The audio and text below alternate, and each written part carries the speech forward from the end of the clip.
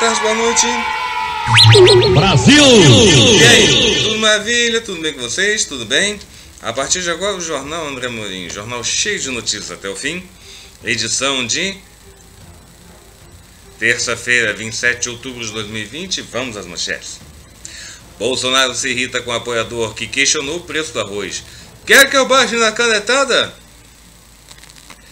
Prefeitura do Rio fiscaliza bares e restaurantes, autua cinco estabelecimentos e aplica 238 multas de trânsito.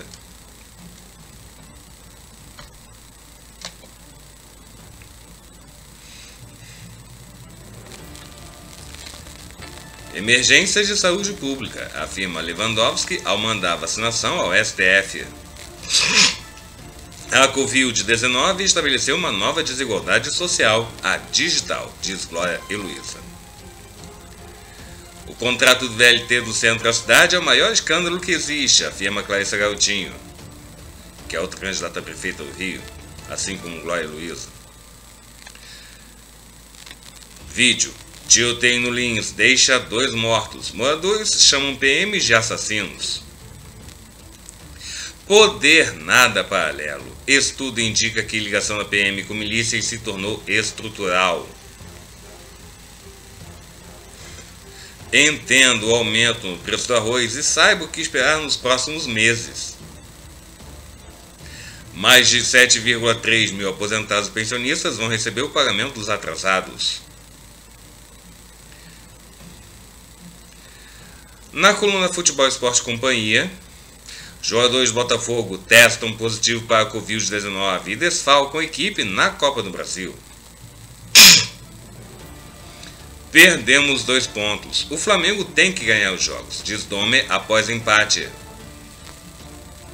Narrador diz que Pedro, atacante do Flamengo, é melhor que Lewandowski. Odair Helman freia empolgação após entrada no G4. Pés no chão. O Day Helman, para quem não sabe, é o técnico Fluminense. Carlinhos comenta reencontro com Sapinto no Vasco. Vai nos ajudar bastante nessa temporada. Ronaldinho Gaúcho testa positivo para a Covid-19 e cumpre isolamento em Belo Horizonte. Na coluna Gaza, estrela de Grace, Olivia Newton-John enfrenta câncer pela terceira vez. A Fazenda, Lidia Lisboa e Mirella protagonizam barraco.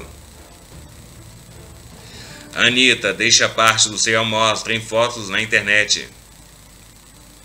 Marcel de Carvalho Latino tocam farpas na internet. Foi um grande alívio ter assumido que sou lésbica, diz a cantora Patrícia Marques. CNN contrata Carla Vilhena. Mano Gavassi está de mudança para o Rio de Janeiro.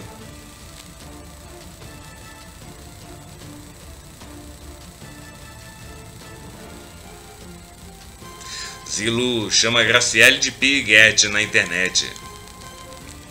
Kevinho aparece sem as lentes de contato dos internautas não o perdoam.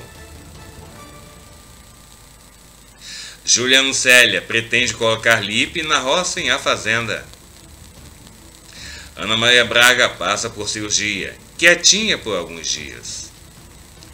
Na coluna Notizap, Charlie Chaplin, ou Charlie Chaplin, como queira, ficou em terceiro lugar no concurso de sósias de Charlie Chaplin. Bolsonaro diz que pobre no Brasil só serve para votar? E ainda, vídeo mostra berinjela cheia de escorpiões? No destaque bizarro, caranguejeira com asas causa impacto na internet.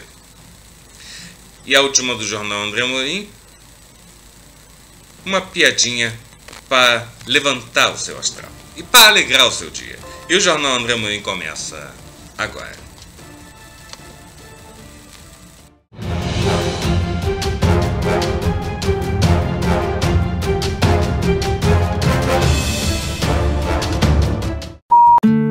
Novembro você tem uma missão a cumprir: ajudar a definir o futuro de sua cidade. Você está pronto? Então vamos fazer o checklist. A primeira coisa é conferir o local de votação. coloque a máscara, prepare uma cola para não esquecer dos números dos candidatos e, se possível, leve sua própria caneta. Respeite o horário preferencial de votação para maiores de 60 anos, das 7 às 10 da manhã. Se puder, deixe as crianças em casa e não deixe para voltar na última hora. Evite contato físico com outras pessoas e mantenha-se pelo menos a um metro de distância dos outros. Limpe as mãos com álcool gel antes e depois de votar. Comida e bebida nos locais de votação? Nananina não. Cumpriu sua missão? Volte para casa rapidinho. Combinado? Eleições 2020. Sua missão é votar com segurança. Justiça Eleitoral. A justiça da democracia. Só quem faz parte da família faz de tudo para você ter crédito quando mais precisa. Aumentamos o limite para mais de um milhão de clientes na mesma semana. Conte com a Pernambucanas. Estamos juntos para o que der e vier. Na dúvida, não compartilhe. Urgente! O Brasil não tem mais notícias falsas. Só que não. Não adianta. Por mais interessante que seja o título da notícia, não dá para confiar só nele antes de compartilhar o conteúdo. A gente precisa ler tudo, checar as informações e só aí passar a reportagem ou o post adiante. Isso porque as pessoas que fazem notícias falsas costumam criar manchetes apelativas. A ideia é justamente chamar a nossa atenção e fazer com que os mais apressados repassem a informação sem ler o texto até o final. E elas são muito boas nisso. Então precisamos ficar atentos. Muito cuidado na hora de repassar conteúdos. Não faça parte da corrente da desinformação. Você é responsável pelo que compartilha.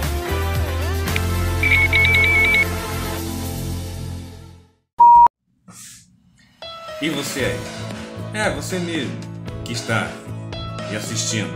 Já deu seu like bem gostoso? Cara! Dê, dê o seu like. Assim você vai fazer o canal André Amorim crescer ainda mais. E fazer o André Amorim ser mais conhecido nas redes sociais e nos meios de comunicação, certo? Ah, já conhece o canal André Amorim? Não? Anota aí, ó. Canal André Amorim. O canal cheio de vídeos até a fim. Certo? Canal André Amorim. Simples assim. Ah, já deu uma badalada no sininho? Blim, blim, blim, blim, blim, blim, blim. Ó, ative o sininho para receber as notificações do nosso jornal André Amorim e dos vídeos aleatórios que eu gravo para vocês que me assistem no canal André Amorim. Tá bom? E agora, as notícias,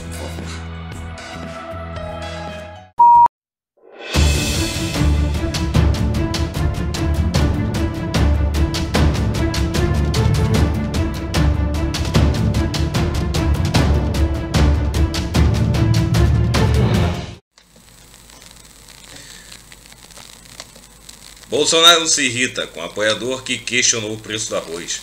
Quer que eu baixe na canetada? Presidente se incomodou com o pedido de apoiador no Distrito Federal, que lamentou as altas nos preços dos alimentos. Ou do alimento, né?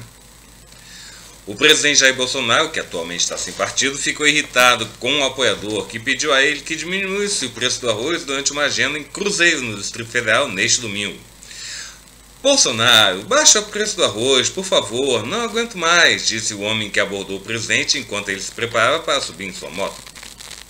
Tu quer que eu baixe na canetada? Você quer que eu tabele? Se você quer que eu tabele, eu tabelo, mas você vai comprar lá na Venezuela, respondeu Bolsonaro. O homem saiu sem dizer nada. Fala e vai embora, comenta o presidente diante dos demais apoiadores, seguranças e jornalistas que estavam no local. Vai vendo. Durante a manhã de. Muito bem. Durante a manhã de domingo, O presidente passeou de moto pelo Distrito Federal com os ministros da Secretaria de Governo, general, Eduardo, general Luiz Eduardo Ramos, e da Casa Civil, general Walter Braga Neto. No interior do mercado, Bolsonaro foi ovacionado por apoiadores e ouviu palavras em sua defesa. Na saída do local, porém, foi recepcionado com gritos de Fora Bolsonaro! Pressionada pela alta de preços dos alimentos das passagens aéreas, a prévia da inflação oficial brasileira registrou em outubro sua maior alta desde 1995. Segundo o IBGE, Instituto Brasileiro de Geografia e Estatística, o IPCA 15, Índice de Preço ao Consumidor Amplo 15, acelerou para 0,94% no mês, após alta de 0,44%. Ou melhor, 45%, 0,45% em setembro.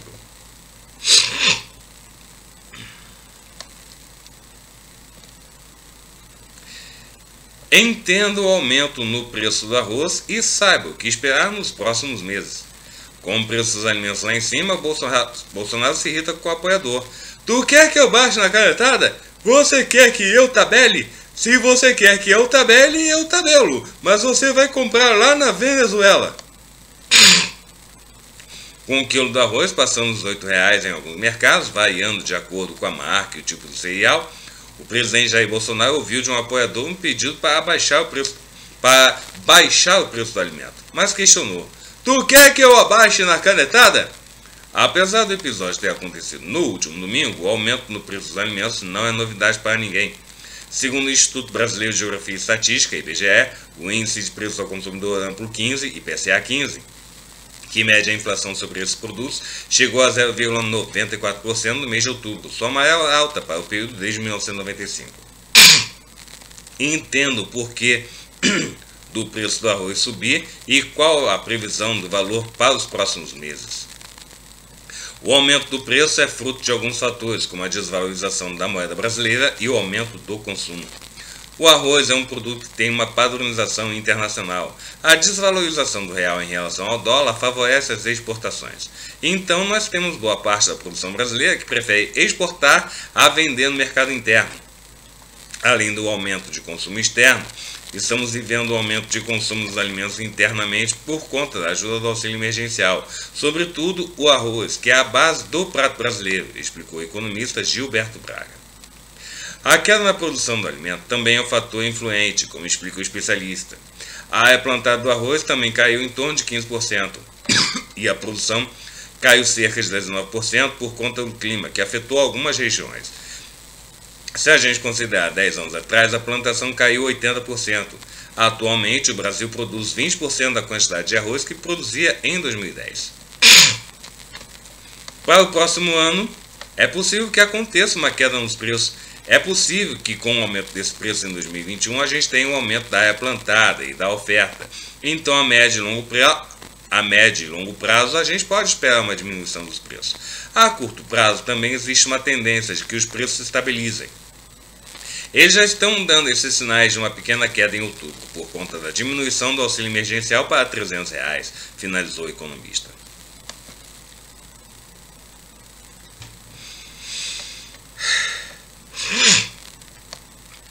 Prefeitura do Rio fiscaliza bares e restaurantes, autua cinco estabelecimentos e aplica 238 multas de trânsito. A ação visa a verificação do cumprimento das medidas sanitárias adotadas durante a pandemia de Covid-19.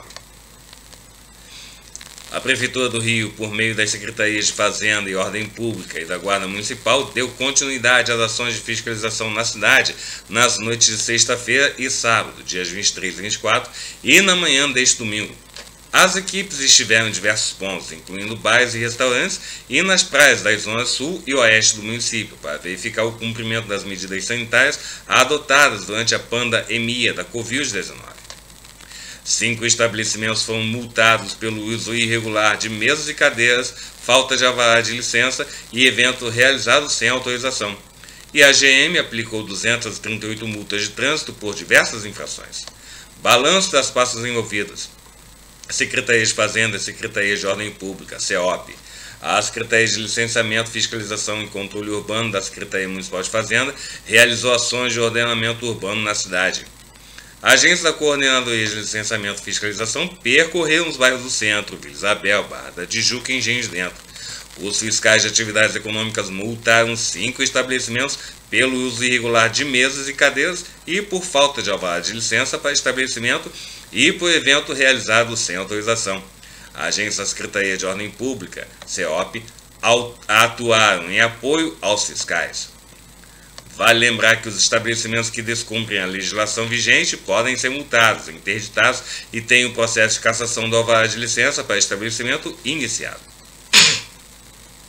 Já a Coordenadoria de Controle Urbano fiscalizou o comércio ambulante nos bairros da Glória, Flamengo, Maitá, Laranjeiras, Leblon, Copacabana, Lapa, Barra e Engenho de Dentro nas zonas sul, central, oeste e norte da cidade. Ao todo, cinco ambulâncias foram notificadas.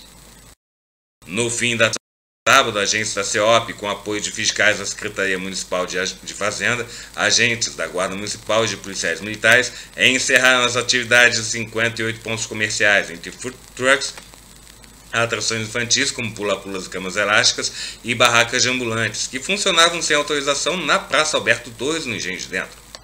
Ao todo, 26 barracas, 14 food trucks, 10 bancas de ambulância, 4 camas elásticas e 2 pula-pulas infláveis foram desmontados ou fechados.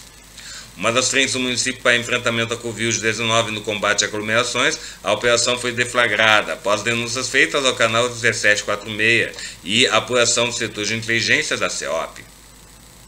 Na noite de sexta-feira, na Lapa, os agentes atuaram em apoio à CEOP e 10 ambulâncias foram fiscalizados na região. As equipes seguem nas ruas neste domingo, fiscalizando o comércio ambulante nas praias da cidade. Os ambulantes que descumprem as regras vigentes nos decretos podem ser multados, têm a mercadoria apreendida e, caso persistam na irregularidade, podem ainda perder a licença para o comércio ambulante. Guarda Municipal. A Guarda Municipal do Rio realiza ações de patrulhamento, ordenamento urbano e de trânsito, além da fiscalização sanitária em toda a cidade, incluindo a orla e a faixa de areia. Durante as abordagens, os guardas orientam a população sobre as restrições da atual fase de flexibilização, fiscalizam as posturas municipais e as infrações sanitárias, como a falta do uso de máscaras, coíbem o estacionamento irregular e conscientizam a população em relação às medidas da Prefeitura, a fim de evitar aglomerações e a disseminação do coronavírus. As equipes também atuam em praças, parques, além de fiscalizar diversos tipos de estabelecimentos, como lojas comerciais, bares, restaurantes e quiosques. Nos fins de semana, as ações noturnas são direcionadas nos quatro micropolos gastronômicos: Rua Dias Ferreira no Leblon, a Rua Nelson Mandela em Botafogo, a Avenida Olagário Maciel na Barra da Tijuca e Praça Varnhagen, ou Vanhagem, né, na Tijuca. Além desses pontos, outras áreas também recebem fiscalização, como a Moeta da Urca, Orla de Copacabana, Rua Voluntários da Pátria em Botafogo, Praça São Salvador em Laranjeiras, Ruas do Catete e da Glória na Zona Sul, Praça do Trem no Engenho de Dentro, Vila da Penha, Madureira e Inhaúma na Zona Norte, Praça Montesa em Marechal Hermes e na Praia da Bica e Praça Jerusalém na Ilha do Governador, entre outros bairros. Praça Montese ou Montese, como queira, né? E Marechal Hermes. Hum? A fiscalização nesses locais entre a sexta-feira, dia 23, e amanhã, deste domingo, dia 25, resultou na aplicação de 238 multas de trânsito por diversas infrações, entre elas o estacionamento em locais proibidos, como na calçada, em fila dupla, em vagas destinadas a idosos e a pessoas com deficiência. A Guarda Municipal já registrou 9.959 infrações sanitárias diversas em 139 dias de fiscalização, voltado ao enfrentamento à pandemia da Covid-19, sendo 82,71% pela falta do uso de máscara. Os agentes passaram a constatar e a notificar irregularidades sanitárias no dia 5 de junho.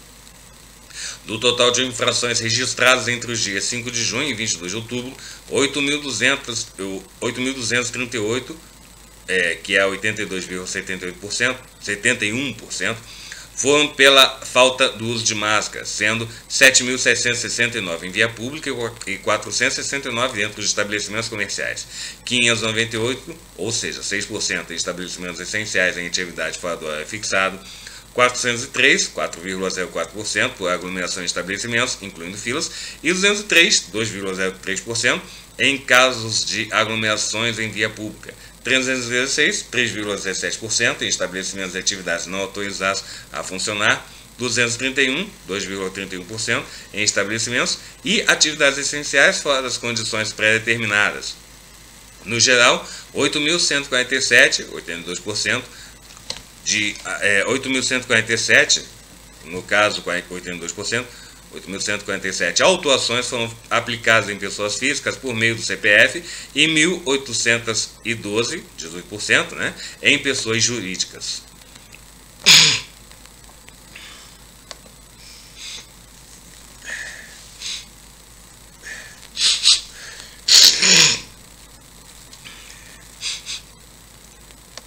Emergência de saúde pública, afirma Lewandowski ao mandar vacinação ao STF.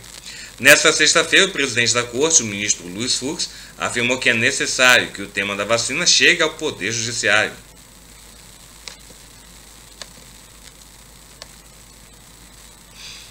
O ministro Ricardo Lewandowski, do Supremo Tribunal Federal, STF, disse que há uma emergência de saúde pública ao levar a pauta da vacinação contra a Covid-19, doença causada pelo coronavírus, que é o SARS-CoV-2, para julgamento do plenário da Corte. Ao aplicar o rito abreviado às ações ou às ações apresentadas à Corte pelo PDT, o PTB e a Rede Sustentabilidade, o ministro destacou a importância da matéria e a emergência de saúde pública decorrente do surto do coronavírus. Em seus despachos, ele ainda pediu que o governo federal preste informações sobre essas ações e outras medidas profiláticas no combate à pandemia, além de que sejam dados pareceres da Advocacia Geral da União, AGU, e da Procuradoria Geral da República, PGR. Nesta sexta, o presidente da Corte, ministro Luiz Fux, afirmou que é necessário que o tema da vacina chegue ao Poder Judiciário. Podem escrever, haverá uma judicialização que eu acho que é necessária, que, é essa, que é essa questão da vacinação. Não só a liberdade individual, como também os pré-requisitos para se adotar uma vacina, ressaltou o ministro. Na coluna de Gardênia Cavalcante, marca lança sua primeira linha de cuidados para a pele. Há quem diz PNIS lança a primeira linha de tratamento facial da marca, que traz poderosos ativos como ácido hialurônico inteligente, inteligente e a superfruta Goji Berry, em seis produtos com diferentes texturas que atendem às diversas rotinas de cuidados e idades. As rotinas práticas, as mais demoradas, as mais simples, de noite ou de dia. A linha Skin que é 100% vegana e foi pensada para atender dos iniciantes das rotinas de skincare até aqueles que já dominam o tema. A nova linha traz espumas de limpeza, creme antioxidante, creme revitalizador, balme labial, gel revitalizador para a área dos olhos e sérum concentrado. Lembrando que a linha é skin.q. É.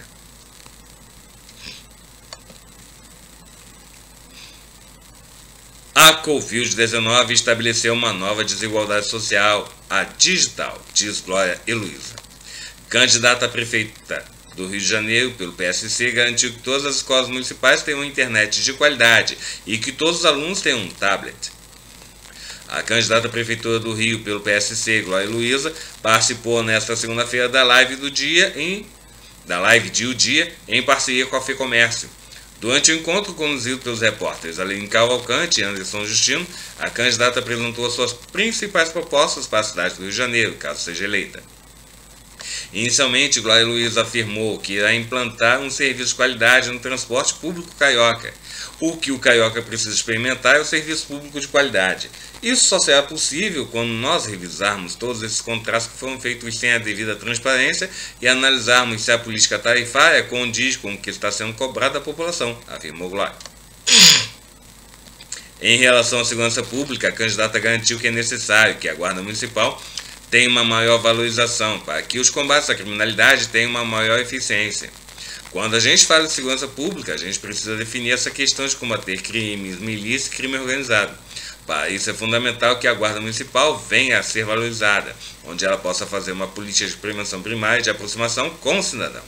Se a Guarda Municipal fizer parte das demais polícias, eu tenho certeza que as ações de combate à criminalidade serão mais eficientes, garantiu a candidata. Quando questionada sobre o desmatamento de áreas de preservação na cidade do Rio de Janeiro, Glória Luiza destacou que defende uma política ambiental que gere sustentabilidade, não só para o Rio de Janeiro, mas para todo o planeta. O que eu penso, enquanto gestor municipal, é que nós precisamos fazer uma política de aproximação com uma fiscalização imediata e eficiente para evitar o desmatamento. Infelizmente, a milícia acabou ocupando esse espaço de expansão imobiliária, mas a prefeitura tem um instrumento poderoso. Ela pode protagonizar uma política pública de acessibilidade à moradia através da regulamentação, ou melhor, da regularização fundiária e resolver esse problema, destacou Glória. Sobre a saúde, a candidata afirmou que na sua gestão será um direito de todos, como está previsto na Constituição. A saúde é um direito básico e fundamental, garantido pela nossa Constituição. Nós vamos trabalhar para que as pessoas não permaneçam doentes ou não fiquem doentes. Nós vamos recuperar os equipamentos, as clínicas da família e os médicos da família, afirmou. Por fim, Glória ressaltou que a educação é uma política necessária, que já é uma transformação social e destacou sua proposta para a rede municipal. Infelizmente, a Covid-19 estabeleceu uma nova desigualdade social, a digital.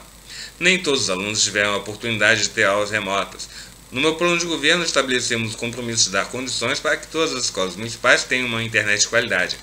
Também iremos disponibilizar um tablet para cada aluno, para que cada aluno possa estudar e expandir o seu conhecimento, concluiu.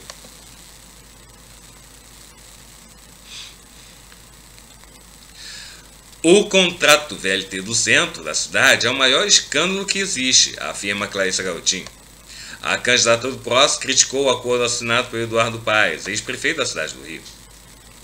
A candidata Clarissa Garotinho do PROS fez campanha nesta segunda-feira na região central do Brasil. Clarissa conversou com eleitores, especialmente com moradores das comunidades e dos bairros vizinhos. Na estação VLT Cristiano Ottoni, na central, a candidata fez um pequeno comício relâmpago e anunciou que vai rever o contrato da Prefeitura do Rio com a concessionária que administra o sistema de veículo leve sobre os trilhos. O contrato VLT do centro da cidade é o maior escândalo que existe. O Eduardo Paz assinou um acordo prevendo que, se não andarem 250 mil passageiros todos os dias no VLT, a prefeitura vai pagar pela diferença. O resultado é que hoje o município é obrigado a pagar todos os dias pelos 141 mil passageiros que não andam no VLT. É o passageiro fantasma Contratos como esse estão espalhados por toda a cidade, estão consumindo os recursos públicos, diz Clarissa. A candidata também lamentou o estado de abandono no prédio onde funcionou o restaurante popular Central do Brasil. Moradores e comerciantes da região pediam a reabertura do serviço, lembrando que atendia não apenas a quem vive nas comunidades próximas, mas também aos ambulantes e trabalhadores da região e até aos moradores de rua. Nesse restaurante, mais de duas mil pessoas podiam almoçar diariamente por dois reais. Infelizmente, o governo se preocupa com muitas coisas, mas não se preocupa com aquilo que é básico, que faz diferença na vida das pessoas. Como prefeito, eu vou reabrir o restaurante popular da Central do Brasil, assim como eu fiz com o de Bangu, o de Campo Grande e o de Bom Sucesso, disse, disse Clarissa. A candidata ressaltou ainda que é preciso dar atenção especial à população que não tem onde morar Clarissa lembrou que hoje há 17 mil moradores de rua no Rio e meio milhão de pessoas vivendo em áreas de risco na cidade. O Crivella prometeu cuidar das pessoas, mas infelizmente isso não é realidade. O rio é o retrato do descaso e do abandono com as pessoas. Nós precisamos entender que para a população de rua nós precisamos de soluções diferentes para problemas diferentes. Há quem precise de acolhimento, como as mulheres vítimas de violência doméstica que precisam sair de casa, mas não tem para onde ir, e os trabalhadores que dependem dos hotéis populares, e quem precisa de tratamento porque está perdido para as drogas, afirmou Clarissa.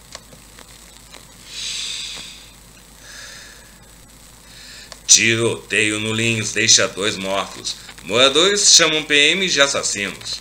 Segundo a Polícia Militar, equipes da unidade de polícia pacificadora teriam sido atacados a tiros durante patrulhamento. No entanto, moradores contestam a versão oficial. Um intenso tiroteio deixou dois mortos no complexo do Lins, no norte do Rio, na tarde desta segunda-feira. Segundo a Polícia Militar, equipes da Unidade de Polícia Pacificadora, o PP do Lins, teriam sido atacados a tiros durante patrulhamento. No entanto, moradores contestam a versão oficial. Em vídeos obtidos por dia, dezenas de moradores cercam viaturas dos PMs aos gritos de assassinos.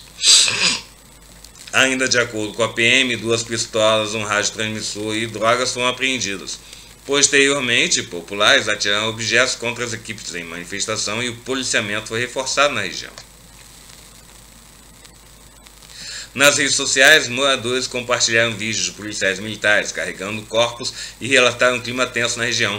O complexo do Lins não aguenta mais isso, disse um internauta. O povo tem que se juntar e tirar essa UPP do Lins, os cara pinta, comentou outro. Só covardia no complexo do Lins, disse um terceiro. Em nota, a Polícia Civil informou que a Delegacia de Homicídios da Capital, DHC, foi acionada para o local. A ocorrência está em andamento.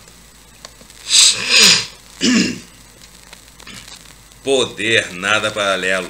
Estudo indica que ligação da PM com milícia se tornou estrutural. Estudo afirma que milícia tem envolvimento em prefeituras, casas legislativas, igrejas evangélicas pentecostais e relação com as polícias. PM nega e a acusa de irresponsável. Há menos de um mês das eleições municipais, um estudo feito pela Rede Fluminense de Pesquisas sobre Violência, Segurança Pública e Direitos Humanos encontrou indícios de articulação de milícias em áreas de prefeituras, casas legislativas e ainda ligações com igrejas evangélicas pentecostais. Inclusive, o documento divulgado nesta segunda-feira acusa ainda que a relação da milícia com as polícias, sobretudo a militar, se tornou estrutural, com interferências em operações de segurança, diz o texto. Segundo a PM, a acusação é no mínimo irresponsável. Ao contrário da especulação dos especialistas e colaboradores do estudo, toda a cadeia de comando da Polícia Militar tem sido montada a partir de critérios técnicos, explorando a capacidade de gestão de cada oficial, tanto na área administrativa quanto operacional, afirma a corporação em nota. Em relação às milícias, a Polícia Militar tem atuado em apoio à Polícia Civil e ao Ministério Público em operações contra essas facções em todo o território estadual. Quando suspeita de alguma participação de policiais militares com esses grupos, a Corregedoria da Corporação é acionada, não só para auxiliar nas investigações, como no cumprimento dos mandados de prisão e busca e apreensão. Além de equivocada e injusta, a conclusão do estudo é desrespeitosa. Macula a imagem de uma corporação composta por verdadeiros heróis que não medem esforço para defender a sociedade. Muitos pagam com a própria vida, como demonstram os inaceitáveis índices de vitimização policial, acrescenta o texto da PM.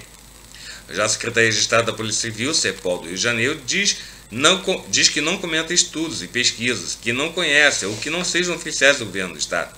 A CEPOL destaca que, após cerca de 10 anos sem uma política de Estado efetiva de combate às milícias, a atual gestão criou uma força-tarefa para coibir este tipo de crime.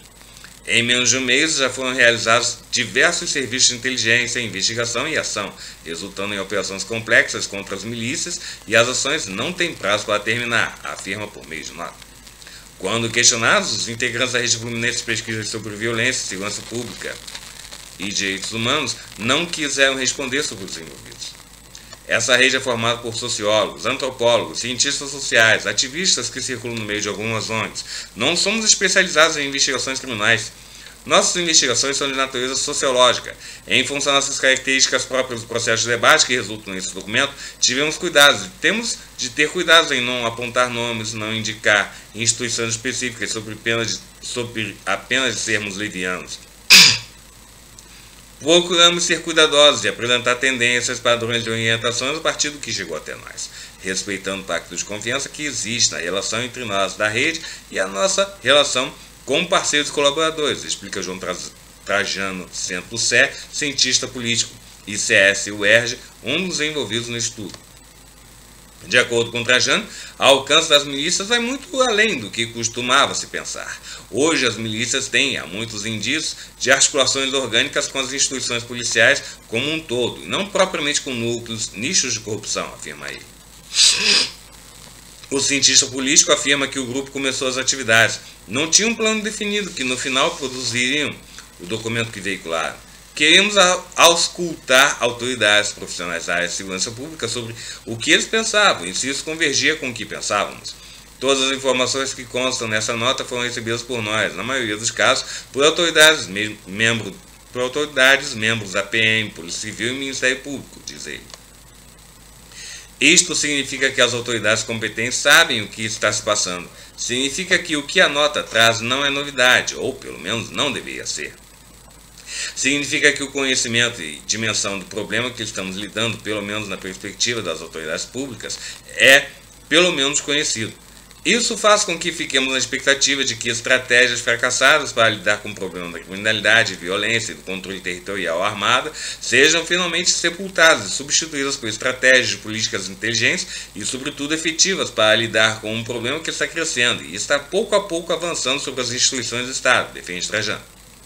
Milícia nas eleições. Segundo João Trajano Centro-Sé, cientista político do ICS-UERJ, existe ainda um dado ainda mais preocupante – está cada vez mais claro e evidente a intervenção nas ações das milícias sobre outros poderes públicos. Essa espécie de colonização promovida pela milícia no Estado se dá tanto no âmbito das municipalidades quanto nos âmbitos dos prefeitos, dos poderes legislativos de determinados municípios do Rio, tanto nas suas respectivas casas legislativas, acusa o estudioso, com base no estudo levantado a partir de depoimentos e colaborações ao longo de quase um ano de promotores, policiais, jornalistas, ativistas e especialistas em dados. As milícias fazem suas próprias candidaturas ao legislativo e municipais, sobretudo porque muitos dos serviços controlados hoje pelas milícias são ligados ao poder municipal. São estratégicos que as milícias tenham figuras nos centros, nos espaços do poder municipal e tudo indica, há muitas informações, que elas estão avançando neste sentido, tanto no legislativo, executivo, na regulação e controle de determinadas situações econômicas, afirma aí. Segundo o cientista político, tal cenário é grave e figura uma perspectiva, ou uma perspectiva, perdão, muito sombria para o nosso futuro e da nossa democracia e do Estado de Direito. Estamos flertando com a possibilidade de nos vermos em um cenário em que as instituições do Estado estejam tomadas e controladas pelas ações do crime organizado, vislumbra. Democracia em risco. A pesquisadora da Universidade Federal Fluminense, UF, Ana Paula Miranda, que também integra o grupo de estudiosos envolvidos na nota, diz que é enorme o desafio que a milícia coloca não só para o Rio de Janeiro, mas todo o país. O que está em risco é a democracia, não apenas o processo eleitoral, afirma ela. Ana Paula defende que o papel deles, estudiosos, não é buscar uma solução ponta. Não acho que esse é o lugar da universidade. Me incomoda muito essa coisa de que pensam: ah, vocês são os pesquisadores, então vocês sabem a verdade. Não, não sabemos. O que a gente pode ajudar é primeiro ser um espaço democrático para que certas coisas sejam ditas. Alguns estão aqui aparecendo, mas sabemos que alguns profissionais conversaram com a gente, por razões institucionais, não vão poder falar publicamente certas coisas. Falar como pesquisadores nos garante esse poder de compartilhar experiências, protegendo nossos interlocutores. Nosso objetivo aqui não é fazer denúncia, mas garantir que a, que a pluralidade de opiniões seja feita, reproduzida e abrir os caminhos. Muitas cabeças pensando podem ajudar um caminho diferente, coisas que nenhum de nós sozinhos é capaz, explica. Igrejas evangélicas pentecostais. José Cláudio Souza Alves, pesquisador da Universidade Federal Rural do Rio de Janeiro, a Rural, né, o FRRJ, explica um pouco mais sobre a relação das igrejas evangélicas pentecostais com a milícia. A igreja evangélica sobreviveu ao longo do tempo pela capacidade popular se organizar e se proteger, e muitos projetos de vida destruída, desemprego, doença e separação, dependência química, tudo de sofrimento daqueles que são lançados na, são lançados na bacia das almas, do abandono de um Estado criminoso e assassino como o nosso, essa população viu nas igrejas evangélicas e pentecostais como aqueles que, o protege, que os protege e os ajuda, inicia o professor. É claro que essas igrejas vão fazer eleições efetivas junto àqueles que dominam aquele território também. Os grupos de extermínio e a milícia passaram a dominar essas mesmas áreas onde as igrejas estão. Há uma convivência incontornável em relação às igrejas pentecostais e à milícia mas não se pode de forma nenhuma depreender que milícias e igrejas pentecostais evangélicas sejam a mesma coisa. Há uma disputa. Tem igrejas que não fazem parte desse projeto, e o projeto evangélico pentecostal é uma resposta à violência do tráfico e da milícia. É muito mais complexo do que dizer que existe uma aliança entre religiões específicas ou a própria polícia, afirma Alves.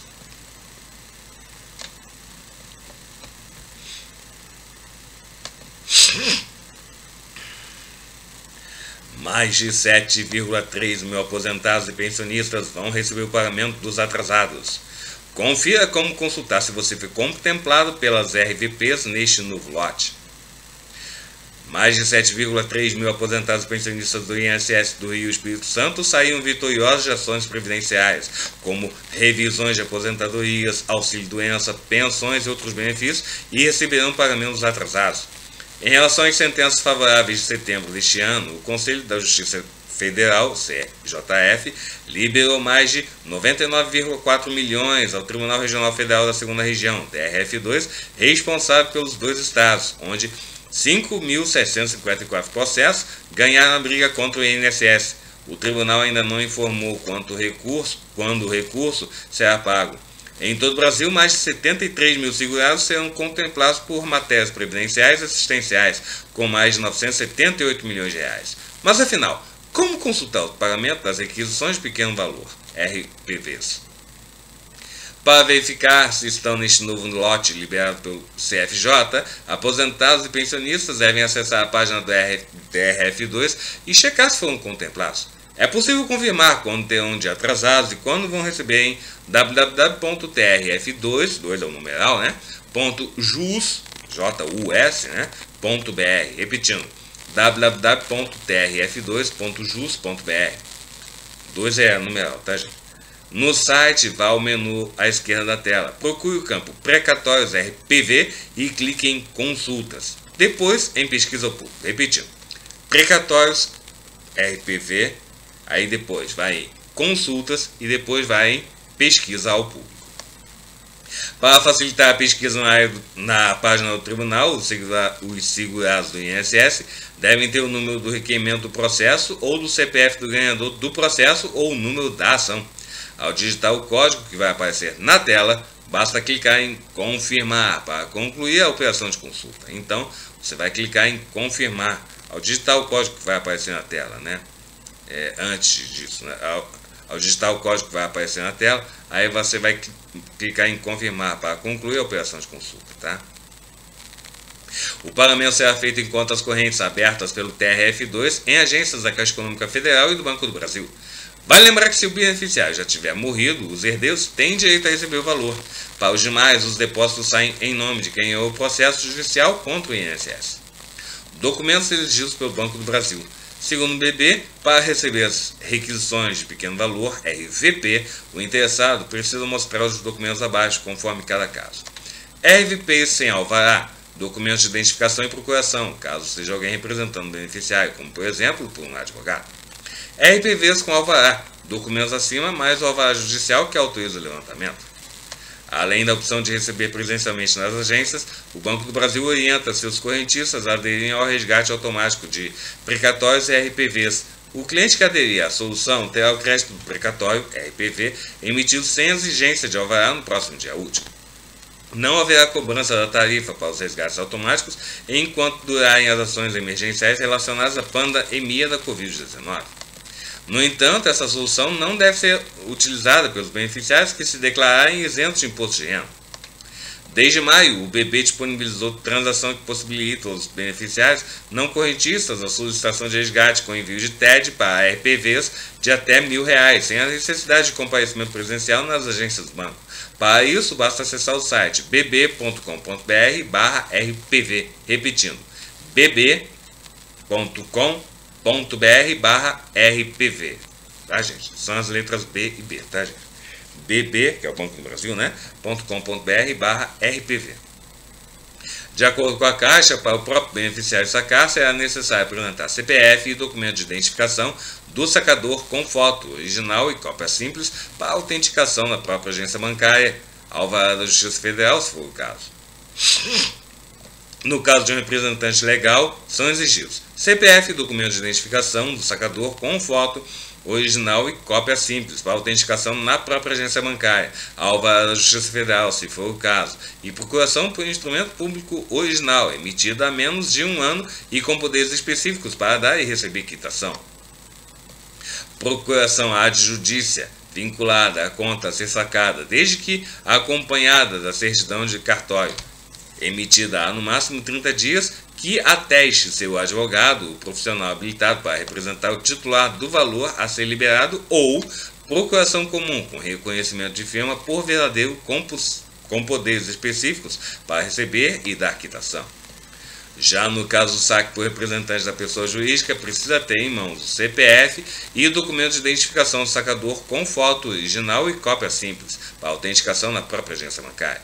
Alvará da Justiça Federal se for o caso, e CNPJ, documento constitutivo de pessoa jurídica registrado em órgão competente de acordo com a natureza jurídica do PJ, da PJ e incluindo alterações, se houver, originais cópias simples, e documento que comprove poderes para representar a PJ beneficiária do precatório, RPV.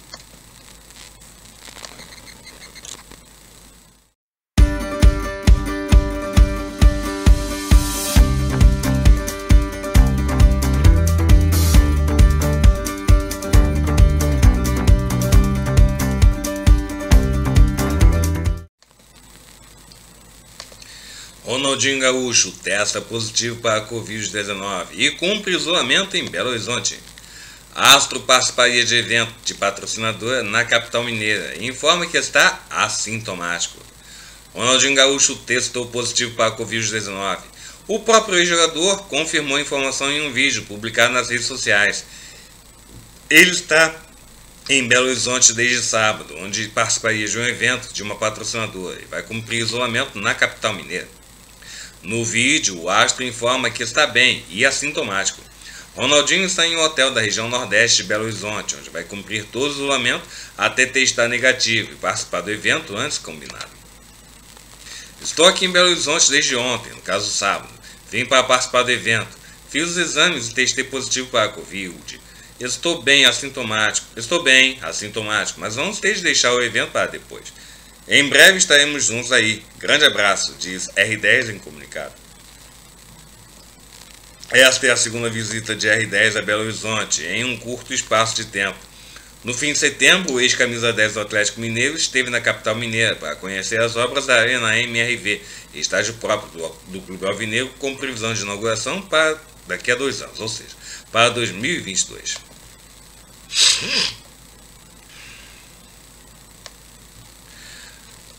Jogadores do Botafogo testam positivo para a Covid-19 e desfalcam a equipe na Copa do Brasil.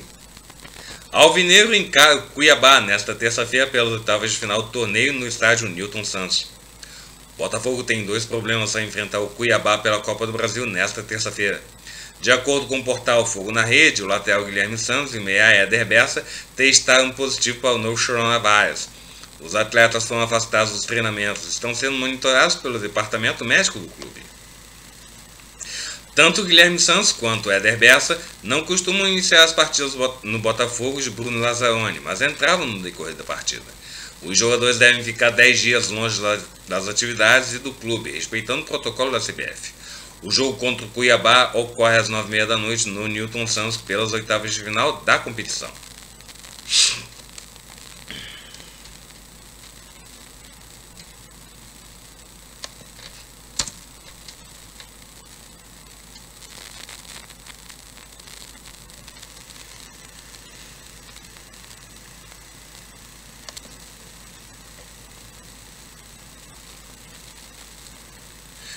Narrador diz que Pedro, atacante do Flamengo, é melhor que Lewandowski. jornalista afirmou que o centroavante do rubro-negro tem mais técnica que o jogador do Bayern de Munique. O atacante Pedro do Flamengo tem vivido um grande momento com a camisa do rubro-negro. Nos últimos 10 jogos, o centroavante marcou 9 gols e anotou um no empate por 2 a 2 com o Internacional de Porto Alegre. De acordo com o narrador Luiz Alberto da Globo, Pedro é melhor que Robert Lewandowski, craque do Bayern de Munique. O Pedras é o centroavante dos tempos de hoje. É o Cavani, mas o Uruguai já tem 33 anos e o Pedro só tem 23. Ele é melhor que o Lewandowski do ponto de vista técnico. O Pedro é melhor. Lewandowski é um jogadoraço, mas o Pedro tem mais fundamentos que ele, disse Luiz Roberto durante a seleção Sport TV desta segunda-feira.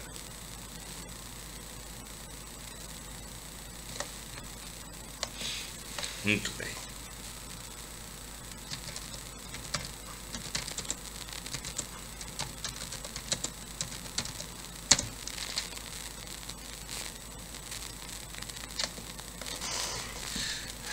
Dome exalta a postura do Flamengo, mas lamenta empate com o Inter.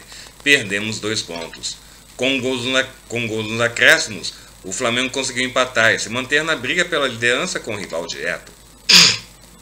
O técnico Domenic Torrent lamentou o empate do Flamengo por 2 a 2 com o Internacional neste domingo no Beira-Rio pelo Brasileiro. Depois de ficar atrás no placar durante quase todo o jogo, o time carioca igualou o resultado nos acréscimos com um gol de Everton Ribeiro. Em entrevista depois do jogo, o treinador considerou que o placar ficou aquém do que poderia diante do desempenho do seu time no segundo tempo. Acho que todos temos claro que o Flamengo nunca está satisfeito com o empate. Acho que o Flamengo perdeu dois pontos. Não era suficiente o empate. Temos que tentar ganhar os três pontos, porque o Flamengo é diferente.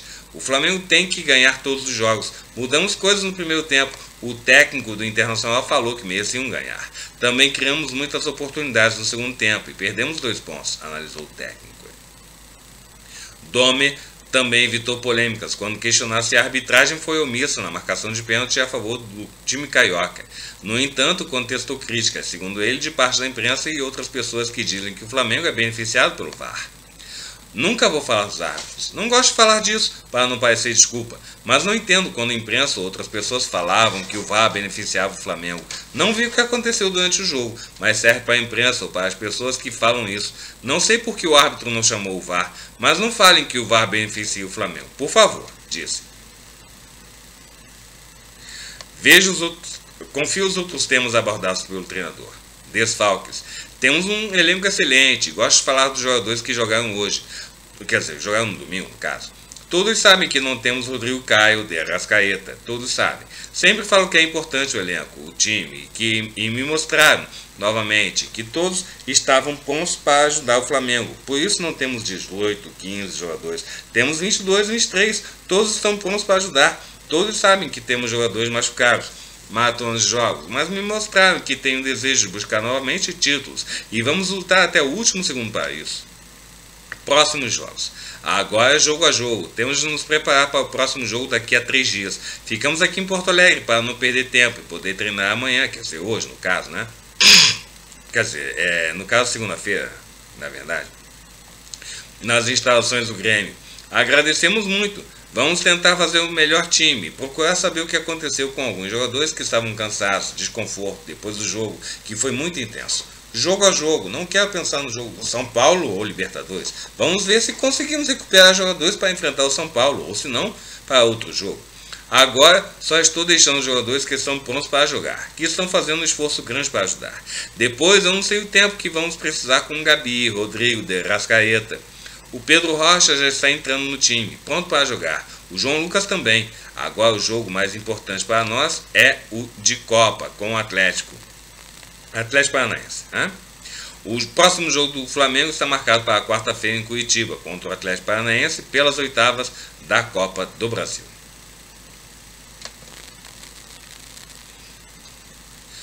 Odair Helman freia empolgação após entrada no G4. Pés no chão. Fluminense bateu o Santos Maracanã por 3 a 1 e chegou a 29 pontos no Brasileirão. O Fluminense venceu o Santos no último jogo no Maracanã por 3 a 1 e já é o quarto colocado no Campeonato Brasileiro. A equipe de Odair Helman não sabe o que é uma derrota a sete partidas e soma 29 pontos no torneio. Contudo, mesmo com a boa fase, o técnico tricolor pediu cautela com a empolgação dos torcedores e pregou a política dos pés no chão em coletiva de imprensa. Estou feliz pelo trabalho do grupo, pelo esforço, pela qualidade, comprometimento dos jogadores, mesmo passando dificuldades em algumas partidas. Mantivemos a postura, união para retomar o melhor resultado no próximo jogo. Hoje foi vitória do grupo. Quer dizer, no caso, naquele momento, né?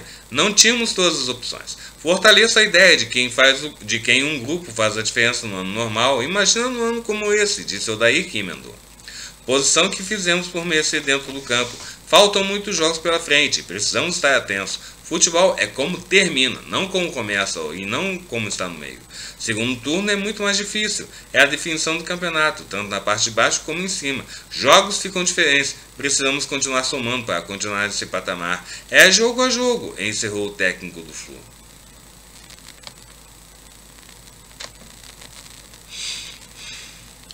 Carlinhos comenta reencontro com Sapinto no Vasco vai nos ajudar bastante nessa temporada. Meia trabalhou com o treinador na Bélgica.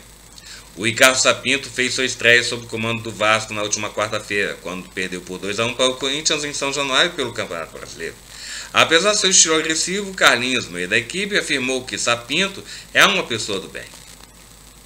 Esta não é a primeira vez que Carlinhos é, treinado pelo português. Em 2017, quando atuava pelo Royal Standard de Liège, da Bélgica, o treinador da época era Ricardo Sapinto. O Ricardo é um cara bacana, uma pessoa do bem, ele foi jogador. Então carrega sempre consigo essa garra, aquela vontade de sempre vencer. É um cara explosivo quando quer, uma pessoa do bem.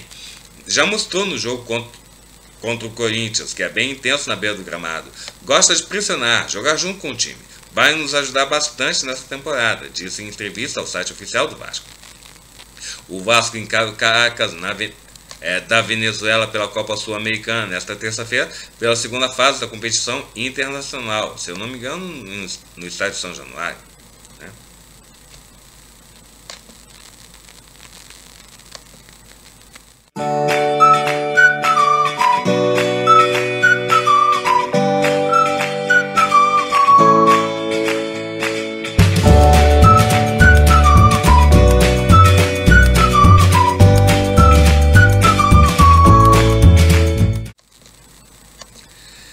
Estrela de Grace, Olivia Newton-John, enfrenta câncer pela terceira vez. Ao jornal britânico The Guardian, a atriz contou como tem encarado a doença de uma forma positiva. Olivia Newton-John, protagonista do filme Grace nos tempos da brilhantina, enfrenta seu terceiro diagnóstico de câncer. Ao jornal britânico The Guardian, a atriz contou como tem encarado a doença de uma forma positiva. Eu vejo isso como uma jornada da minha vida. Isso me deu propósito e intenção e me ensinou muito sobre compaixão.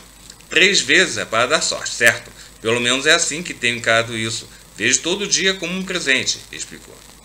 Olivia, que se curou de um câncer de mama descoberto em 1992, teve novamente a doença em 2013 e agora explica como isso mudou sua, sua perspectiva de vida. Você nunca sabe quando vai chegar a sua hora. Nós estamos com as contadas nesse planeta e precisamos ser gratos por isso.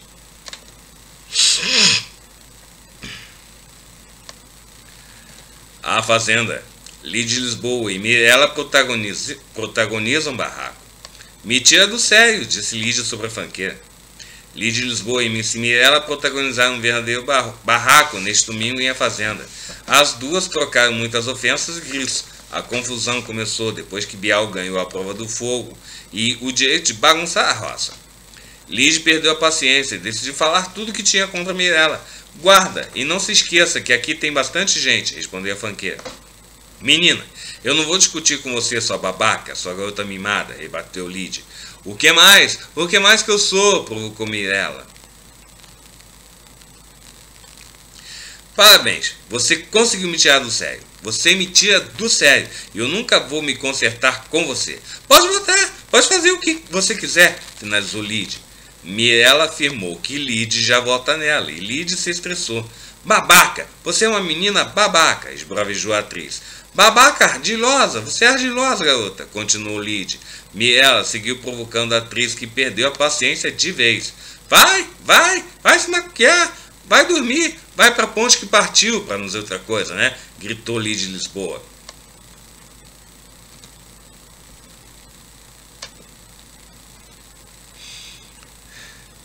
Anitta deixa parte do seu amostra em fotos na internet. Cantora divulgou imagens nas redes sociais nesta segunda-feira. A cantora Anitta resolveu sensualizar nas redes sociais nesta segunda-feira usando o modelo Underboob, que é essa blusinha que deixa uma parte dos seios à mostra. Ela também apostou em uma saia da Fendi, que custa cerca de 5,8 mil reais, e em uma bota da mesma marca, que custa cerca de 9.100 reais. O modelo todo da cantora não custa menos do que 15 mil reais.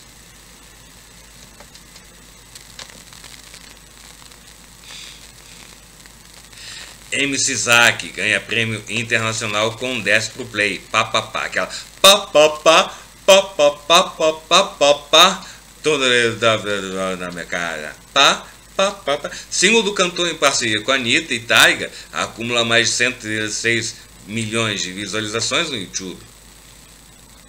MC Isaac ganhou neste domingo a categoria Best Artistic Performance no Los Angeles International Music Video Festival LAMV, com a música 10 pro Play, Pá, Pá, Pá. O single Zack, em parceria com Anitta e Taiga, foi lançado em junho e acumula dados de performance impressionantes, como mais de 116 milhões de visualizações do clipe no YouTube. 272 milhões de streams em todas, as em todas as plataformas de streaming e presença nas playlists de diversos países.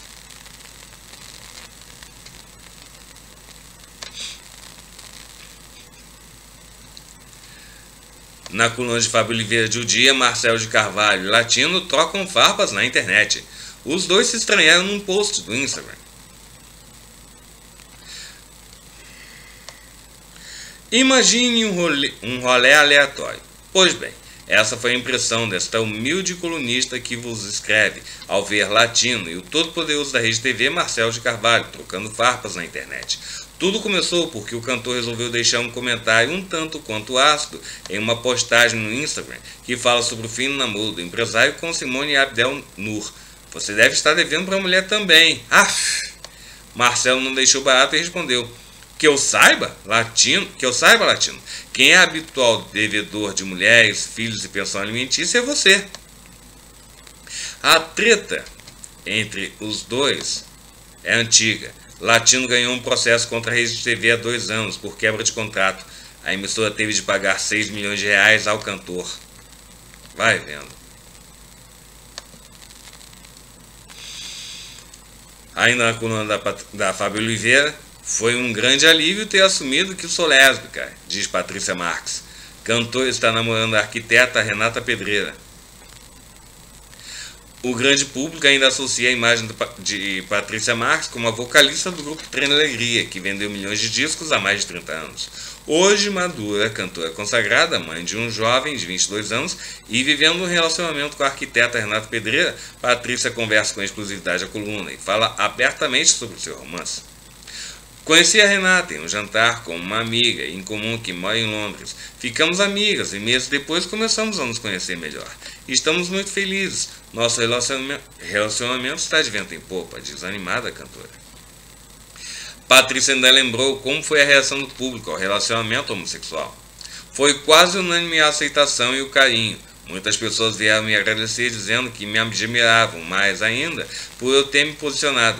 A maioria dessas mensagens que eu recebi é de pessoas que não tinham coragem de assumir por conta de familiares, filhos, e que já tinham tiveram relação com outras mulheres, mas não poderiam assumir. Então eu fiquei muito comovida, impressionado com o quanto eu fui recebido com amor e carinho e o quanto eu pude dar força a essa representatividade desse posto nesse meu novo lugar.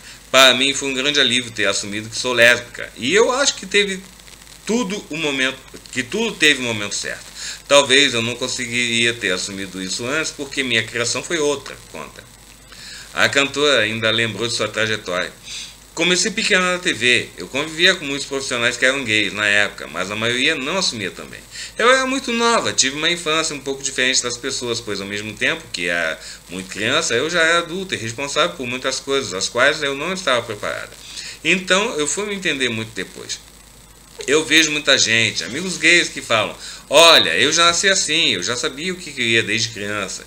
O que eu acho é muito bom. Acho que a vida fica de outro jeito quando a gente assume logo ou sabe o que quer. Para mim é uma fase muito importante, muito forte, muito feliz. Eu estou me sentindo muito leve neste momento, Analisa. As duas ainda não dividem o mesmo tempo, o mesmo teto.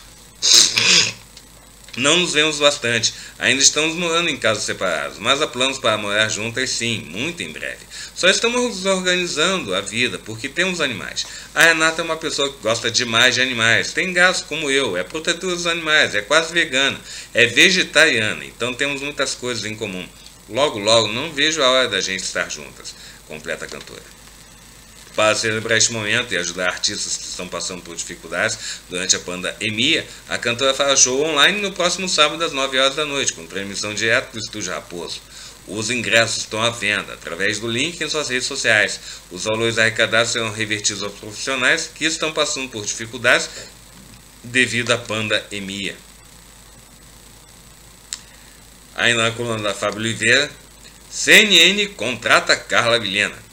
A apresentadora vinha conversando com outras emissoras desde o início do ano. A CNN acaba de contratar a jornalista Carla Vilhena. A ex-apresentadora da Globo vinha conversando com algumas emissoras desde o início do ano. Carla pediu demissão da Globo em janeiro de 2018 para se dedicar a projetos de media training e também a carreira na internet. Agora ela volta à televisão para fazer parte do projeto da CNN de ampliação multiplataforma e também para a programação do Pay Aí na coluna de Fábio Oliveira, Manu Gavassi está de mudança para o Rio de Janeiro. Começará a gravar série da Netflix. Manu Gavassi vai se mudar para o Rio. O motivo da ida da cantora para a cidade maravilhosa é a gravação de Condom Ladies, série da Netflix, em que ela vai ser a estrela. Condom Ladies foi escrita por Natalia Klein e as gravações aconteceriam em setembro, mas por conta da pandemia foram adiadas para novembro.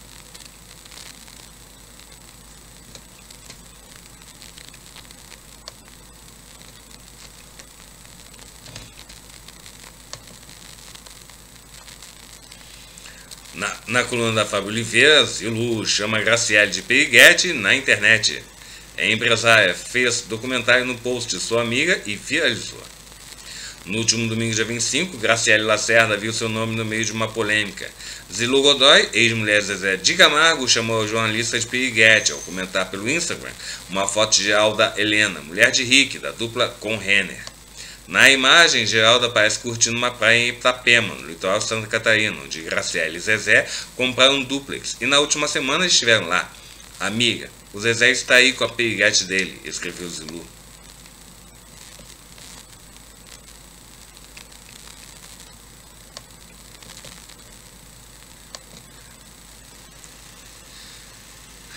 Voltando em A Fazenda, ah, na coluna da Fábio Oliveira, Raíssa Barbosa pode pagar multa ou ser expulsa de a fazenda. Se ela não avisou que tem transtorno de borderline, uma cláusula em contrato pode prejudicar a peoa. Quem tem assistido o programa Fazenda e se surpreendido com as explosões de Raíssa Barbosa está começando a entender o que sofre uma pessoa com transtorno de borderline. Essa síndrome requer tratamento diário com medicamentos, além de acompanhamento psiquiátrico.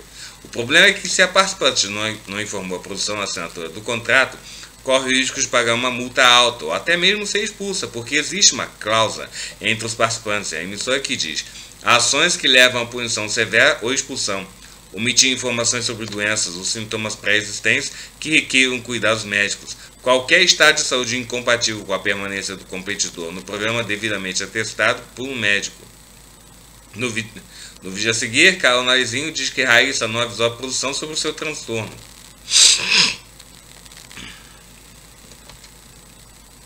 O vídeo está na coluna da Fábio Oliveira. Na matéria, Raíssa Barbosa pode pagar multa ou ser expulso de A Fazenda. Aí na coluna de Fábio Oliveira, Kevinho aparece sem as lentes de contato dos dentes e internautas não perdoam. Cantor foi zoado e ganhou vários memes. O cantor Kevinho resolveu brincar com seus seguidores na noite desta segunda-feira de 26 ao publicar vários vídeos em um consultório odontológico ele aparece sem as suas lentes de contato dos dentes e acabou sendo zoado pelos fãs com vários memes. Não vai ficar assim, tá galera? Isso aqui é só um preparo, porque eu já usava lente antes. Explicou o cantor que se divertiu com as brincadeiras dos fãs. Kevin ainda explicou que precisou tirar as lentes para fazer um novo procedimento. Você acredita?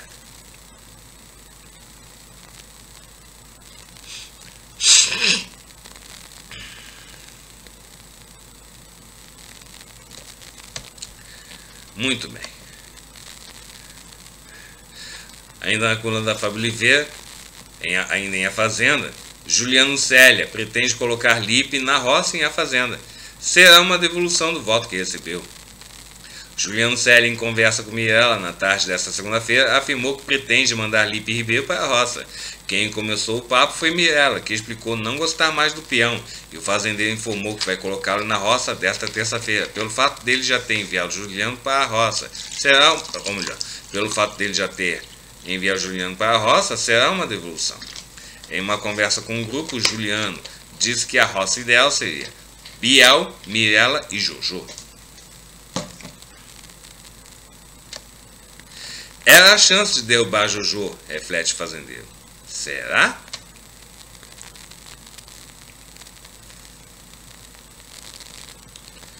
Bom, lembrando que este é o seu jornal André Morim, jornal cheio de notícias até o fim.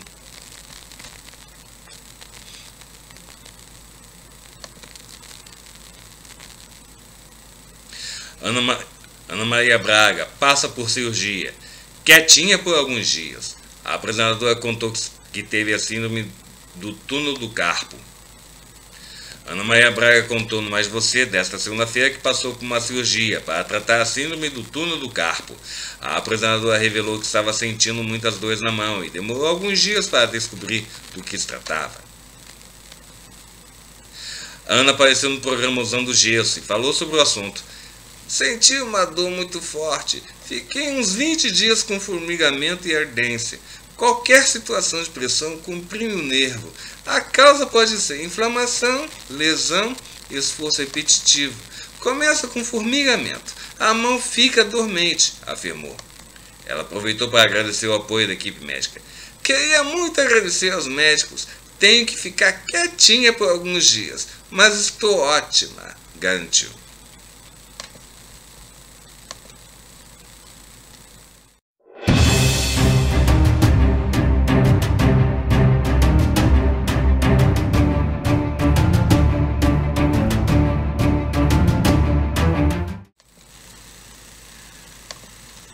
Charlie Chaplin ficou em terceiro lugar no concurso de sósias de Charlie Chaplin.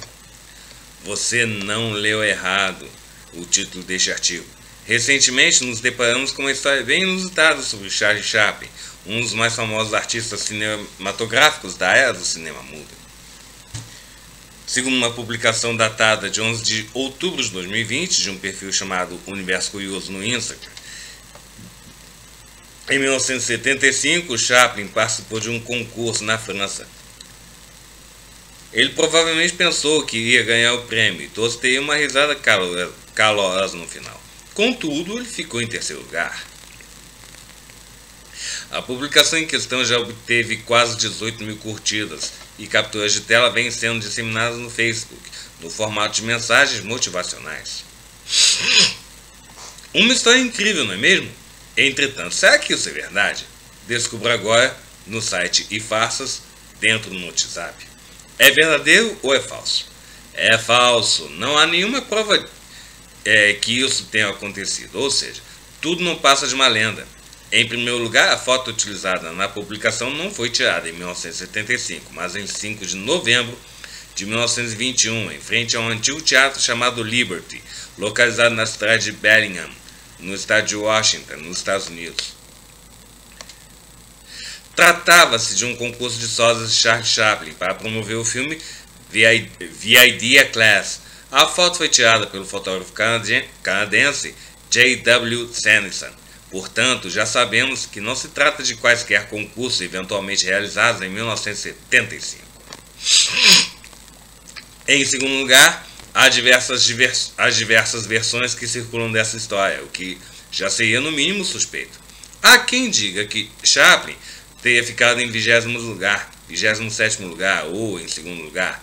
Evidentemente, em nenhuma dessas versões, Chaplin ganhou o concurso. Em terceiro e último lugar, o próprio Charles Chaplin desmentiu essa história numa entrevista em 1966. Um pouco de investigação. Para vocês terem uma ideia, essa história circula ao redor do mundo há mais de um século. E há mais de um século não havia nenhuma prova de que Chaplin teria participado de um concurso de sósias de si mesmo. No passado recente e distante, diversos sites brasileiros já exploraram essa história, a exemplo do Aventuras na História Metamorfose Digital e Meio Norte. De acordo com a lenda original, no entanto, o tal concurso teria acontecido entre 1915 e 1920.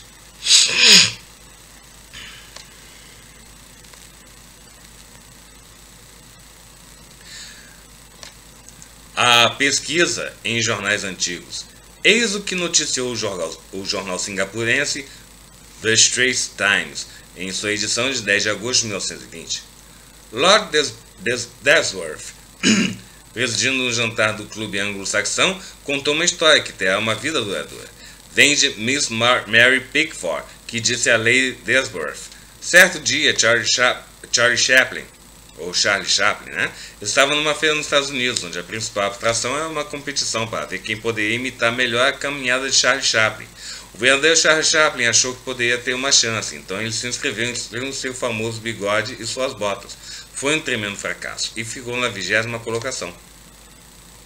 Essa mesma história apareceu num jornal neozelandês, o Poverty Bay Herald, também em 1920. Já em março de 1921, o jornal australiano Albany Advertiser noticiou algo ligeiramente diferente. Uma competição de imitadores de Charles Chaplin foi realizada na Califórnia recentemente. Havia cerca de 40 competidores. Charles Chaplin, de brincadeira, entrou no concurso com nome falso. Ele se fez passar por seu conhecido filme, mas ele não venceu. Ele ficou em 27º lugar na competição. As pessoas citadas nos textos. Lord Desborough, ou William Grenfell, foi um atleta e político britânico, e obviamente Lady Desborough, ou Etty Grenfell, era sua esposa. Já Mary Pickford foi uma atriz e produtora canadense-americana, uma pessoa muito próxima de Charles Chaplin.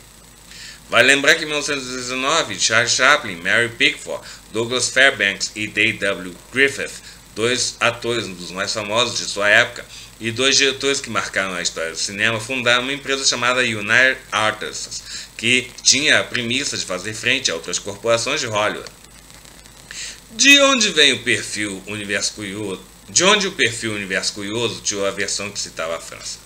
A versão citada pelo perfil Universo Curioso apareceu num texto publicado no site da revista Newsweek em abril de 2015, que, por sua vez, alega ter retirado de um livro chamado Hollywood Winners, a Losers, A to Z. Contudo, não há qualquer outra referência sobre isso. A suposta participação de Charles Chaplin no concurso de imitadores de Charles Chaplin em 1915 Muitos sites alegam que essa história é verdadeira, porque na verdade Chaplin teria participado de um concurso em 1915. Essa nova versão para a história apareceu num, chamado, num livro chamado Tramp, The Life of Charlie Chaplin, que foi publicado em 1996. Eis o que é mencionado. As casas de vaudeville ainda exibiam filmes em 1915. Muitas estavam reverberando a moda de Charles Chaplin ao promover concursos de imitadores. Entre os primeiros vencedores estava Bob Hope, que levou o primeiro prêmio no concurso realizado em Cleveland. O próprio Charlie não teve tanta sorte. Quando ele entrou no concurso promovido por um teatro em São Francisco, ele não conseguiu nem chegar às finais. Eu me senti tentado a dar aulas sobre o caminhar de Chaplin, disse ele a um repórter, por pena e também pelo desejo de ver a coisa feita corretamente. Contudo, toda essa história é um tremendo telefone sem fio. Repararam que essa história é um telefone sem fio? Alguém que tenha contato, outro alguém que, por sua vez, tenha contato com um grupo de pessoas. Além disso, vale questionar alguns pontos totalmente obscuros. Onde ficava localizado esse clube anglo-saxão? Esse clube realmente existiu? Quando ocorreu esse jantar no clube? Quando a feira onde é, teria havido um concurso Sosas de Chaplin aconteceu?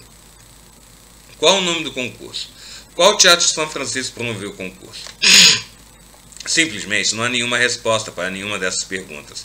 A melhor versão é aquela citada no livro Tramp, The Life of Charlie Chaplin, uma vez que a referência fornecida foi de um jornal britânico, ou melhor, foi um jornal, perdão, americano, chamado Chicago Herald, em sua edição do dia 15 de julho de 1915. Entretanto, também há problemas nessa história, o texto não menciona o nome do local, o nome do concurso, tampouco o nome do repórter. E para piorar a situação, não há recorte mostrando que isso foi realmente publicado pelo jornal, que aparentemente circulou por apenas quatro anos com esse nome, entre 1914 e 1918. Enfim, tudo que temos sobre essa história são publicações curtas, vagas, com escassez de detalhes. Basicamente, fofoca.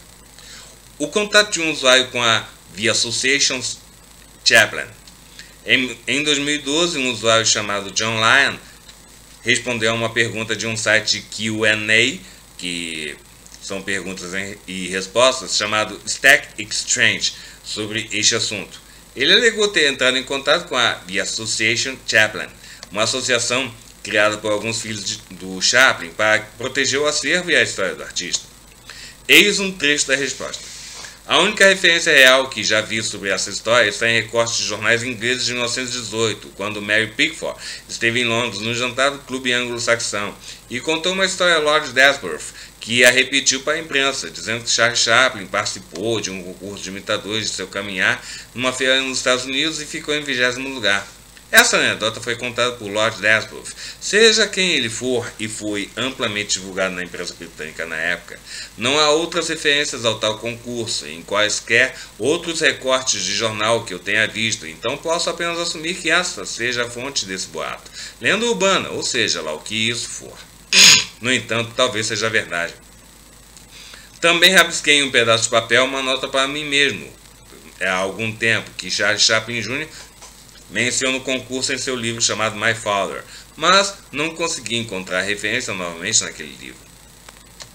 Neste ponto, vocês devem ter um fio de esperança de que a história possa ser sido verdadeira, né? Contudo, não encontramos nenhuma referência sobre o suposto concurso no livro My Father. Alugamos gratuitamente o livro My Father, publicado em 1960 no Internet Archive. Durante cerca de uma hora, fizemos uma exaustiva busca por palavras-chave que pudessem nos indicar quaisquer concurso que Charlie Chaplin pudesse ter participado e perdido como imitador de si próprio. Contudo, não encontramos absolutamente nada. O Zoid Online alegou ter lido esse livro, mas novamente não encontrou nenhuma referência. O próprio Charles Chaplin negou essa história numa entrevista de 1966. Não fiquem bravos, mas deixei o melhor para o final. Afinal de contas, era necessário que vocês soubessem como foram enganados ao longo de todo esse tempo e as razões pelas quais deveriam ter desconfiado. Em 21 de junho de 2016, o site Open Culture questionou a verdade dessa história, mas sem realmente dar um veredito. No entanto, dois dias depois, um usuário chamado Jeffrey Vance alegou nos comentários que essa história era falsa. E quem era Jeffrey Vance? O autor de um livro chamado Chaplin, Genius of the Cinema, que foi lançado em outubro de 2003. Ele é um historiador de cinema, produtor, já trabalhou como arquivista da empresa Rai Export SES, pertencente à família de Chaplin, e que detém os direitos autorais sobre todos os filmes feitos pelo artista. Entramos em contato com Jeffrey Vance. Para saber mais detalhes sobre essa história, entramos em contato com Jeffrey Vance. Segundo ele, embora essa seja uma ideia bem divertida, ela é completamente falsa. Um famoso jornalista chamado Richard Merriman entre 1920, eh, nasceu em 1926 e morreu em 2015, entrevistou Chaplin extensivamente durante quatro dias para uma edição da revista Life, que, que foi publicada em 1966. Apenas uma pequena parte das entrevistas foi publicada. Richard autorizou que Jeffrey publicasse cerca de 10 mil palavras do material em seu livro. Foi aí que Jeffrey descobriu que o próprio Chaplin havia admitido essa história. Ao ser questionado pelos jornalistas se essa história é verdadeira, na página 120, Chaplin negou e comentou. Em primeiro lugar, explicou Chaplin, estou trabalhando do dia todo. Certamente não quer fazer isso.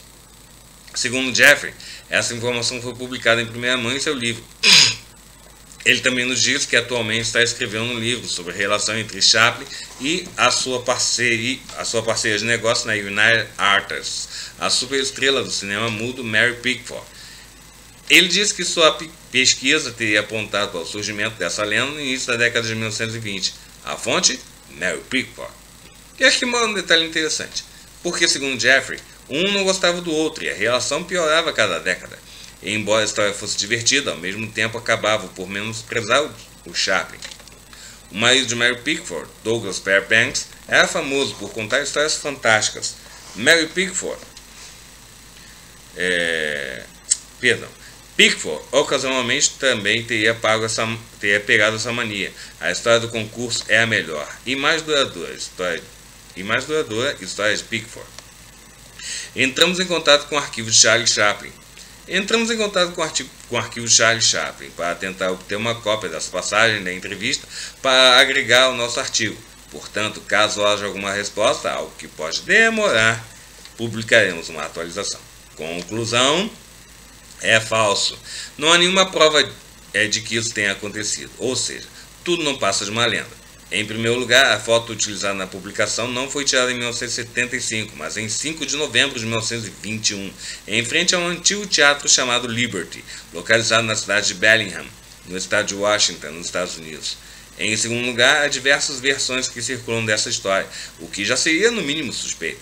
Há quem diga que Chaplin teria ficado em 20 lugar, 27 lugar ou em segundo lugar. Evidentemente, em nenhuma dessas versões, Chaplin ganhou o concurso. Em terceiro e último lugar, o próprio Charles Chaplin desmentiu essa história numa entrevista dada ao jornalista Richard Merriman, em 1966. Tudo isso teria sido eventualmente inventado por sua parceira de negócio, Mary Pickford, talvez como uma forma de menosprezá-lo.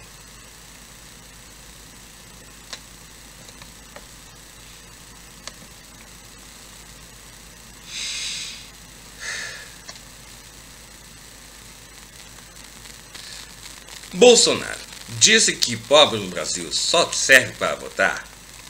Frase atribuída ao presidente Jair Bolsonaro afirma que o pobre brasileiro só serve para votar. Será que ele disse isso mesmo?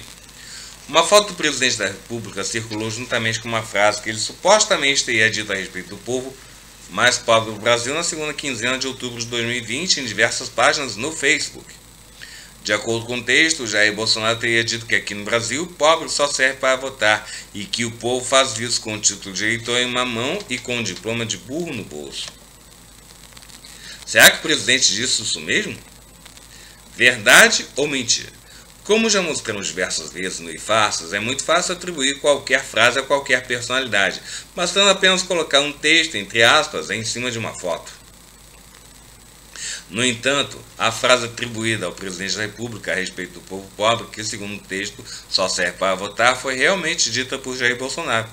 A frase foi dita por ele em novembro de 2013, quando Bolsonaro ainda era deputado federal no plenário da Câmara. A frase completa dita pelo então deputado foi: só tem uma utilidade o pobre no nosso país: votar. Título de eleitor na mão e diploma de burro no bolso para votar no governo que está aí. A crítica do deputado federal na ocasião era contra as políticas de bolsas fornecidas pelo governo. O discurso completo pode ser lido na íntegra no site da Câmara dos Deputados, arquivado no site iFarsas. Conclusão: a frase com a afirmação de que pobre só serve para votar foi realmente dita por Jair Bolsonaro em 2013, quando ele ocupava o cargo de deputado federal. A frase dita de, durante um discurso na Câmara dos Deputados fazia parte de um contexto onde o parlamentar criticava os programas assistenciais do governo na época. É, na época, o governo do PT, né? É, 2013, quem governava era Dilma Rousseff.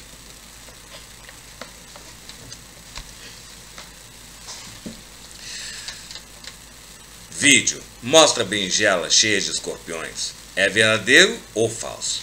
Será que o vídeo mostrando o interior de uma berinjela infestada de escorpiões é verdadeiro ou falso? O vídeo surgiu nas redes sociais na segunda quinzena de setembro de 2020 e mostra uma pessoa cortando uma berinjela e mostrando que vários escorpiões estavam escondidos em seu interior. Em poucos dias, o filminho de poucos segundos já havia sido visto mais de 16 milhões de vezes em apenas uma das contas onde foi publicado e deixou muita gente em dúvida. Afinal, o vídeo é real? Existe um perigo se comprar berinjelas contaminadas com escorpiões? É verdade ou é mentira? No dia 20 de setembro de 2020, o usuário do TikTok, Ed, é, underline 4SS, publicou um vídeo onde uma mão aparece cortando com uma faca uma berinjela e mostrando que no interior da fruta havia uma enorme quantidade de escorpiões. O problema é que ao assistir a cena, algumas dúvidas surgem, como por exemplo, o sujeito já sabia que havia algo dentro da berinjela? Como os escorpiões entraram lá? Os bichos entraram quando ainda eram filhotes e foram comendo o interior da berinjela à medida em que foram crescendo? Por que apenas um lado da berinjela foi mostrado? Por que não foi cortado até o fim? Por que não há notícias de berinjelas com escorpiões em nenhum jornal? Acontece que a cena do vídeo, que teve mais de 16 milhões de visualizações, foi armada para impressionar a audiência. Tudo foi preparado para dar a impressão de que há um real perigo em se comprar berinjelas que podem estar, que podem estar infestadas com escorpiões. Provavelmente a fruta foi cortada na parte de trás, lado, lado que fica encoberto pela mão do rapaz e seu interior removido para então serem inseridos os escorpiões. Os escorpiões são carnívoros e canibais, ou seja, caso eles ficassem presos dentro da berinjela, era muito mais provável que comessem uns aos outros e não que devorassem o núcleo da fruta. Eles são vivíparos em grande maioria. Algumas espécies botam ovos, então a teoria de que um escorpião teria botado ovos dentro da berinjela é até plausível. Mas os bichinhos não sobreviveriam muito tempo pelos motivos que já explicamos. Opinião de especialistas. O site língua espanhola Depor entrevistou os responsáveis pela conta a, arroba aracno, com CH, né? Underline Cossas, que é C-O-S-A-S, no Twitter, sobre o vídeo viral da berinjela com escorpiões e a resposta foi categórica. O vídeo é falso. Os especialistas explicaram que a berinjela parece oca, como se o centro tivesse cortado de uma forma muito simétrica, além do fato de que é improvável que os escorpiões tenham entrado já adultos na fruta. Caso, estivesse, caso eles tivessem entrado ainda pequenos, eles não teriam sobrevivido, pois, como dissemos alguns parágrafos acima, esses animais não são herbívoros. Conversamos com o biólogo Henrique Abraão Charles, do canal Biólogo Henrique, a respeito desse vídeo, e ele, após analisar as imagens, nos mandou seu parecer. O vídeo é uma montagem, muito comum esse tipo de vídeo na plataforma TikTok, como descrito pelo colega, a fruta não está, a fruta não está oxidada, está branca, indicado que o buraco para colocar os escorpiões acabou de ser feito. Não consigo identificar a espécie, que é um indicativo de que esse vídeo provavelmente não foi feito no Brasil. A espécie de escorpião usada para a montagem provavelmente tem baixa letalidade na peçonha ou baixa toxicidade, visto que todo escorpião é peçonhento. Ninguém ficaria brincando assim com o nosso escorpião amarelo Titius cerulatus, por exemplo. Eu não me surpreenderia se o vídeo tivesse continuação, onde os escorpiões estivessem, estivessem sendo preparados para a culinária, e por isso foi posto na berinjela. Mas só o primeiro trecho realizou. Preparar escorpiões, aranhas e outros animais para a culinária também são vídeos extremamente comuns no TikTok, e o pedaço de um vídeo onde uma fruta traz escorpiões dentro causa pânico nas pessoas, e por isso pode ter viralizado. Por fim, escorpiões são carnívoros e canibais, se estivessem presos, não comeriam a fruta, comeriam a si mesmos. O perfil do Twitter Observações Naturalistas fez um vídeo mostrando como esse efeito é fácil de se fazer em vídeo. Conclusão: não há provas de que o vídeo mostrando uma berinjela cheia de escorpiões em seu interior seja real. Tudo indica que a fruta foi manipulada antes da gravação para chamar a atenção do espectador e causar um falso alarmismo sobre o assunto.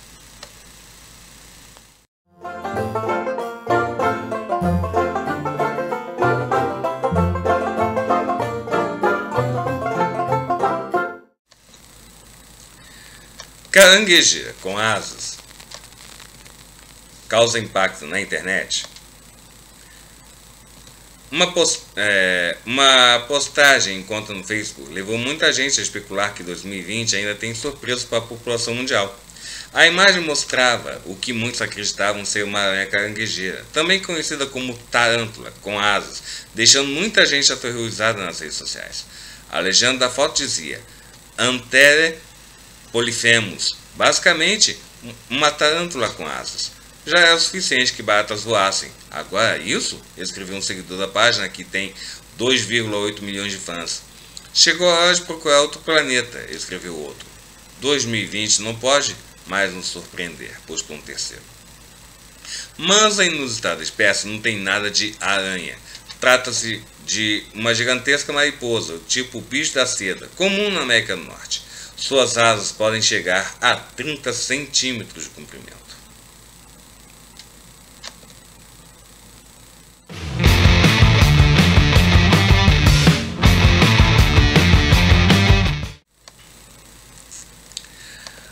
O papagaio careca. Um rapaz ganhou um casal de papagaios, mas ele não sabia qual dos dois era o macho ou a fêmea. Decide ele, quando os dois estiverem tendo um rala e rola, o que estiver embaixo, ele rasparia a cabeça. Deixe para saber, é, para poder saber qual é a fêmea. Se, passar um, se passou um mês e nada de pegar os dois no flagra. Com o tempo a coisa estava ficando feia e os papagaios não suportavam mais a seca, começou o maior rally-rolly. Foram pegos no flagra. Imediatamente o rapaz cumpre o que havia planejado, raspando a cabeça de um dos papagaios, e certo de que já sabia qual era o macho e fêmea do casal. Mas em um dia chegou um amigo careca do rapaz e os papagaios pararam na gargalhada. Culpa, te pegando, dando fio fora.